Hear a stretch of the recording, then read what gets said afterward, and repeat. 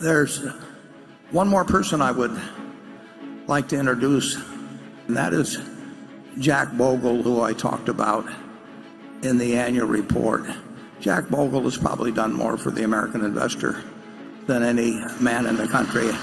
The truth is, it was not in the interest of, invest, of the investment industry of Wall Street. It was not in their interest actually to have the development of an index fund, uh, the index fund, because it brought down fees dramatically. So when Jack started, uh, very few people, certainly Wall Street, did not applaud him, and he was the subject of some derision and a lot of attacks. I estimate that Jack, at a minimum, has saved left in the pockets of investors. He's put tens and tens and tens of billions into their pockets, and those numbers are going to be hundreds and hundreds of billions over time. Hello, everyone. Welcome back to Simply Finance. Today, we will listen to Jack Bogle talk about the three most common mistakes every investor makes. For those of you who don't know Jack Bogle, he is the founder of Vanguard, which created and popularized index fund investing. Whether you use them or not, index funds are one of the most influential instruments for retail investors. Jack Bogle's low cost index funds have made it possible for millions of investors to retire comfortably and will continue to do so for all retail investors in the future. In today's video, we are hearing from Bogle himself talk about mistakes he has noticed investors make the most often. So here's the first mistake. Well, of course, there are a thousand uh, definitions of investment and probably 2,000 definitions of speculation. But the fundamental building block of that difference is investing is about owning corporations, businesses that actually exist, focusing on their intrinsic value, their ability to grow over the years through earnings, through paying out dividends, reinvesting the rest in the business, and holding corporations for the long run. That's where wealth is generated. It is not generated in the stock market. So when you have, let's call it, focusing on intrinsic long-term value as the definition of investment, speculation is betting on price, and price is ephemeral. Price is the price of a stock. Uh, it's anything but eternal. Uh, you're betting on price. You buy and sell with great frequency, while investing is a long-term uh, process. Speculation is a short-term process sometimes it seems, Jim, getting shorter every single day.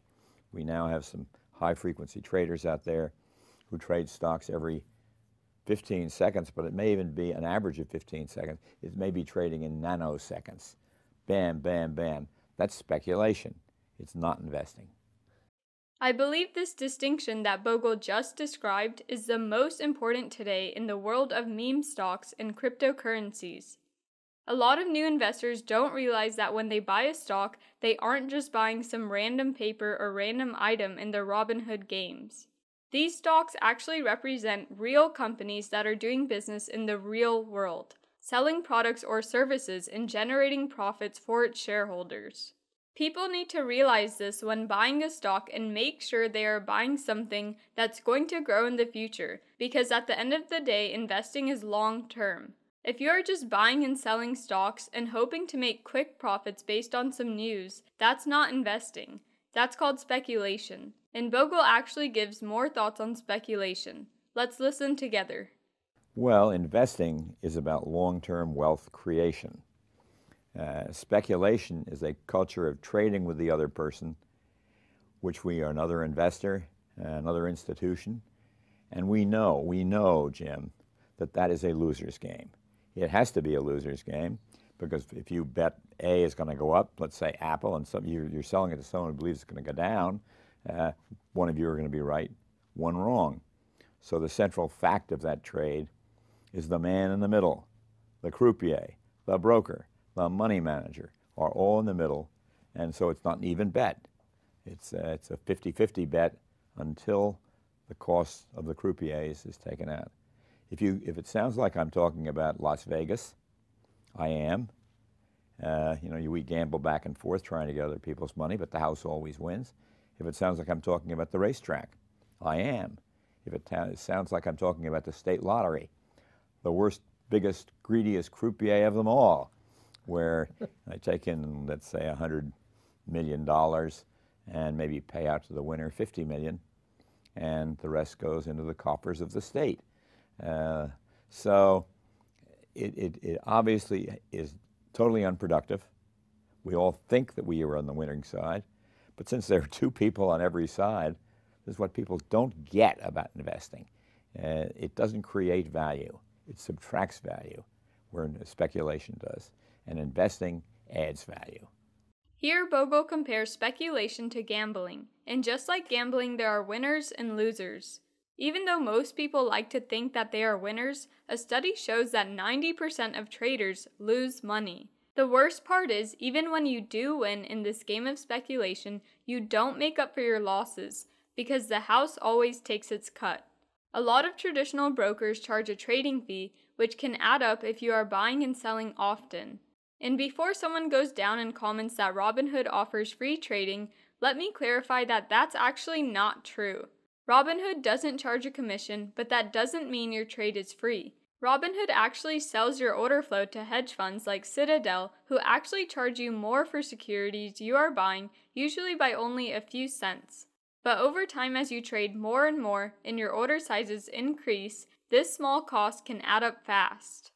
Uh, Wall Street is a mess. Our finan- can I say it any more boldly? our financial system is a mess because it's all based on trading heavily based on trading and speculation and not nearly heavily enough based on investment.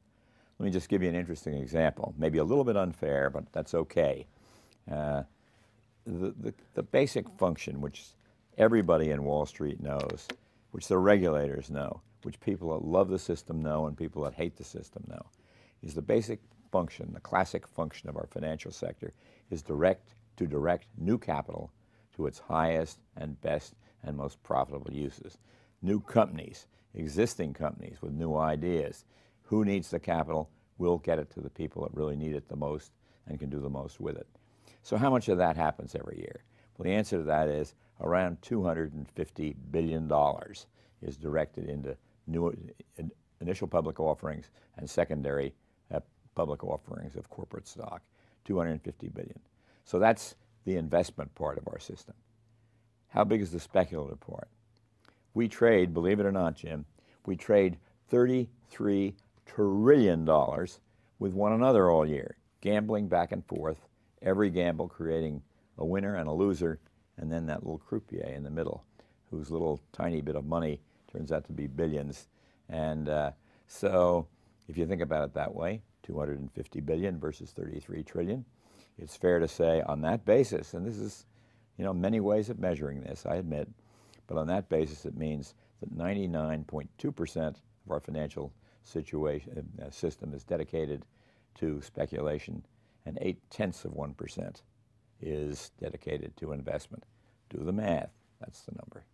As Bogle admits himself, the example he just gave isn't the best way of looking at the market, but again, it is not completely wrong and it does help prove a good point.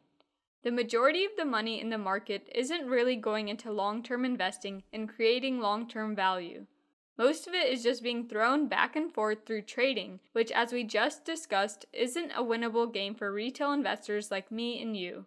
That wraps up today's video. Thank you so much for watching. If you enjoyed, please like and subscribe.